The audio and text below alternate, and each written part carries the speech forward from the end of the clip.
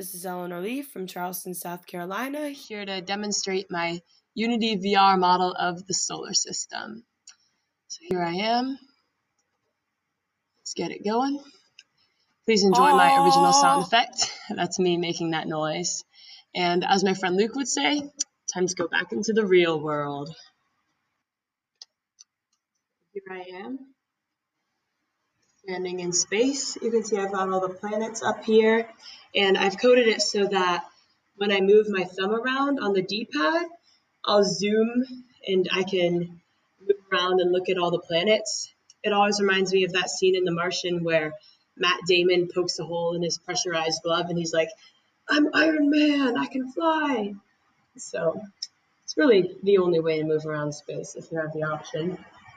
You can see over here, I've put the sun in the center, as it is in real life, with all the planets orbiting around it, as they do in real life.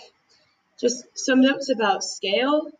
At first, I tried to make all the planets scaled accurately relative to each other, but then I realized that the sun is so huge compared to the other planets that like Earth and Mars and Mercury would show up so small that you couldn't really see them when you were in the real world. So I've made them a little bit bigger than they would be if this were completely accurate. And they also move a little faster than they would if this were completely accurate because otherwise, you know, it would take like a year for the Earth to go around the sun. But if you wanted to compare like how fast Saturn moves to how fast Jupiter moves, it's still a good representation of that, just sped up a little. So here, if I want to learn more about the sun, I can fly over and click and hear a nice sun-themed song as I read facts about the sun. And then once I'm done with that, I can use this switch on the side of the controller to pause the planet's orbits. And then I can fly over to Mercury using my Matt Damon skills and read some facts about Mercury, hear a song about Mercury. And then when I'm done with that, I can come over to, let's see, how about Venus? Where is Venus? Here she is. And hear a classic Venus song.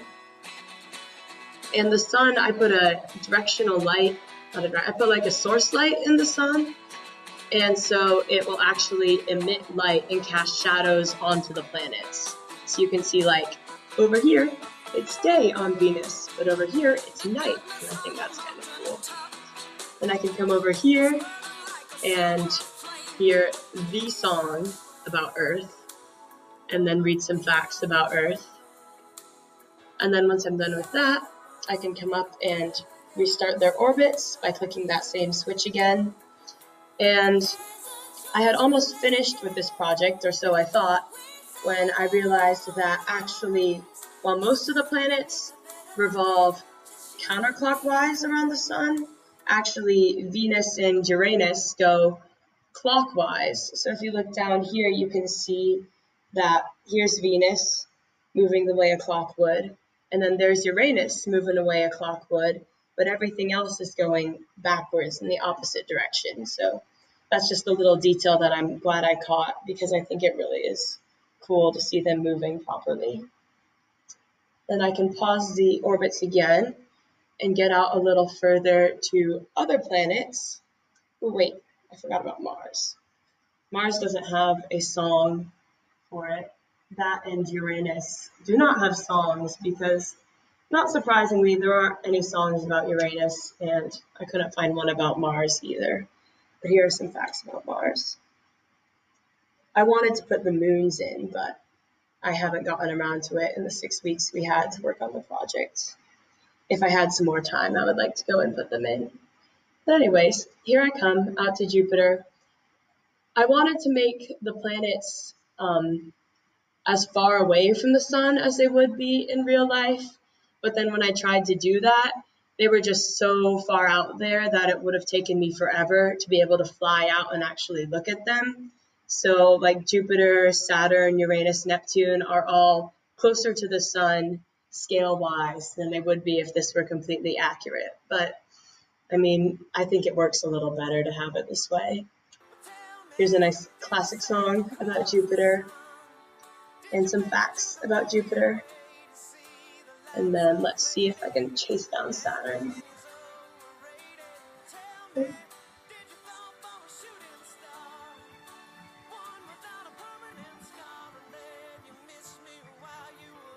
Alright, here it is. I really wanted to have songs attached to these planets because music is kind of an important thing to me and it's important to our computer class too. We have a playlist that we've made on Spotify that we listen to and we like to clap along to the songs when we get bored or when we're thinking about something. It's kind of weird, but we have fun and I think that it would help audio learners as well as visual learners kind of get a deeper sense about the planets and how they've influenced culture over time and just also give you something cool to listen to. Like this song about Saturn, I had never heard about before I started Googling like songs about Saturn. I'm like, oh, this is such a fun song. I didn't know Stevie Wonder sang this, so, you know, it's kind of cool. And then all the way up here is our poor friend with the unfortunate name and also with the unfortunate colors that don't really show up with the warm light from the sun. But here are its facts. And then let's see if we can find Neptune. Oh, he's all the way over there. Maybe I can let him come to me. Fly around. Hello, Saturn. So fast. Oh man, this is going to take a while to get to Neptune, but now I'm glad that I didn't put them all the way out there because really would have taken forever. There we go. I'll pause him so I can get over there. Get all the way out. Oh, look at that color. So nice. Here he is. And I can listen to a song about Neptune that I had never heard before I started working on this project. And there are some facts. And so, with all this, before me. This is my project. I'm super proud of it.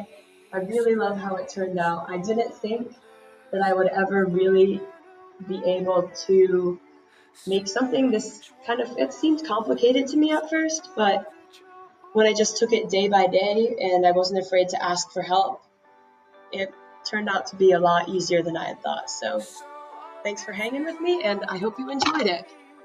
I will stop recording now.